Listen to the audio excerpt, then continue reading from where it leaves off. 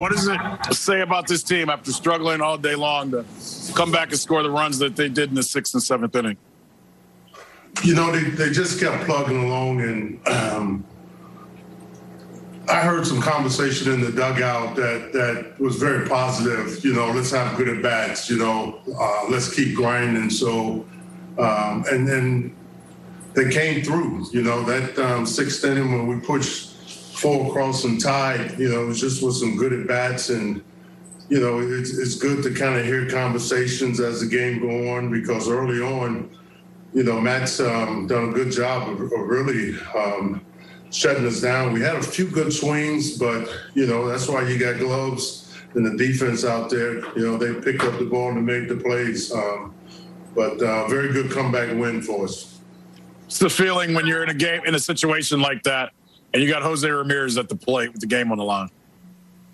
Well, it's a good feeling, and, and, and one of the decisions that I, you know, went with with um, pitching Zimmer because I saw him struggling against lefties, and um, I said, look, if I can get back to the top of the order, you know, with Hernandez being a lefty and, you know, Rosario, um, Amed, you know, he's had some good at bats. You know, you never know if we get to um, Jose, and, and sure enough, it did. What do you think of Hentges today? You know what? Early on, he had some swing and miss, um, and you know I thought he was aggressive throwing the ball, and then I thought that he lost the strike zone. And when the big blow by Hernandez came, um, you know, was going to try to give him a chance to work, you know, through that a little bit, maybe a run, you know, thinking maybe two, but after the big blow, I didn't want it to snowball. And, you know, I, I, I got to stay in the game to kind of give our offense a chance to come back or um, just, just to be in the game because it was still early. You know, went to Mejia, you know, he done a good job, you know, kind of settling them down. Uh, and then the bullpen, all four of those guys done outstanding job. Mejia, um, Wittgren, um. So, you know, it was just that moment, that big blow kind of done it for me, the, the three run double by Hernandez. And um, we had Mejia ready, so we went with him. You mentioned the positive, you know, outlook or attitude in the dugout. Is that especially encouraging to see during a time when you guys are without Franmil and kind of looking for production at really any spot that you can find it for?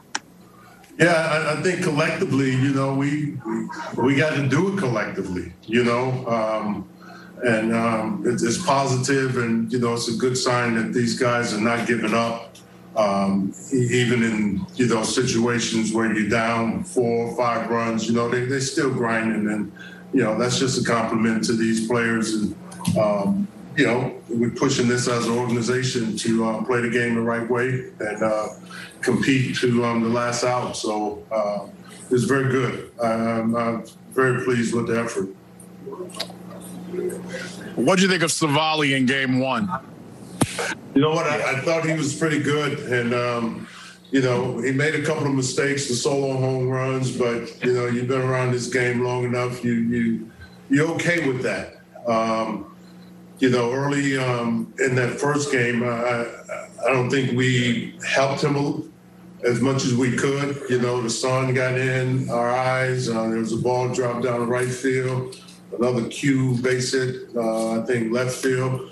But you know, he, he's a competitor. He stayed with it. You know, he, he gave us uh, and kept us in position to uh, come back and win a ball game. You know, like I said, I, I thought he was pretty good. You think of how Naylor swung the bat in the first game? Um, just how he swung the bat overall today.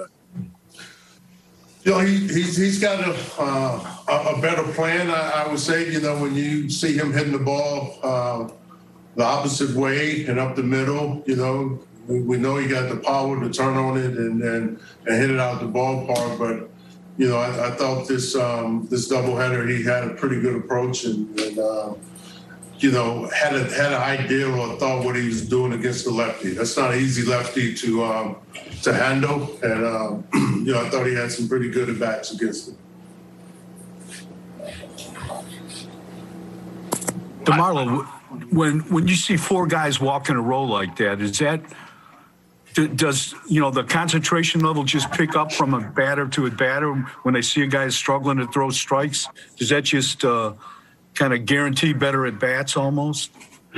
Well, I, I, you heard the saying that it get contagious, but you know, I, I think also the players realized that there was a little struggle throwing strikes, so um, they they shrunk their strike zone, you know, uh, and and met the the situation that you know we were going through in the game at that time, and you know, that's part of you know growing and understanding the game and and trying to put yourself in the best position, you know, to uh, you know have some success and have good at bat. So it, it was good to see for sure. Yeah, I, I thought we swung the bats better the second game. You know, we hit some balls pretty good. Um, like I said, they, you know, was in the right position. They got gloves on and they, you know, made some plays. So, uh, but it's, it's good to see that that concentration was there, you know, toward the latter part of the game, late innings.